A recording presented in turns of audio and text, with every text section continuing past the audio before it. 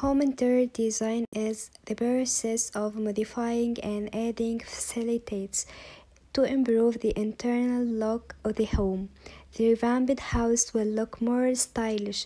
There are many free tips for decorating the home. Home design and decorating can become a hassle, but it doesn't have to be. We have created a list of home decorating ideas to help you create the perfect house. Top simple house interior design ideas for your home. The first one color schemes. Use three colors or shades. Now that you have a good idea of a style and functionality you hope to call your own, it's time to choose your colors. They can be pretty tough because colors are not only personal but also very emotional things. Keep in mind that color evokes different feelings depending on the person and the mood they happen to be in when they look at the set color.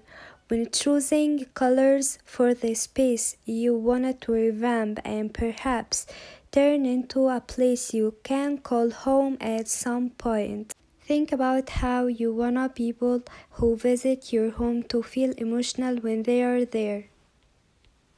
Add texture to your home. As important as colors when considering an interior design project.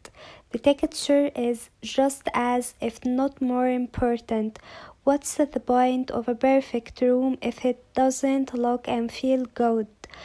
Take, for example, having a straight white room, you might notice textures such as the reflection of sunlight on silk drapery, the blush nab of velvet furniture, or the shiny sheen of silk pillows. These all help create a rich and refined atmosphere that your guests will surely be impressed by. Add big statement furniture pieces. One common mistake that homeowners make is having too many smaller pieces of furniture in a room. Smaller chairs, tables, or objects create clutter when there are already a lot of other little things crammed into the same space.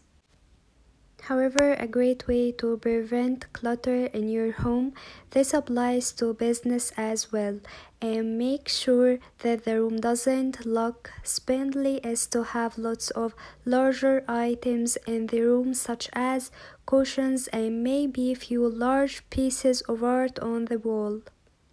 The separation helps prevent small furniture from being swallowed up by big furniture, so instead let it be split between two instead, which makes for a fresh perspective.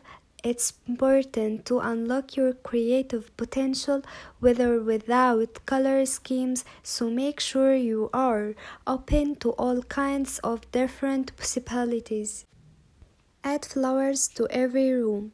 If flowers or plants aren't exactly what you are having in mind for that empty place inside,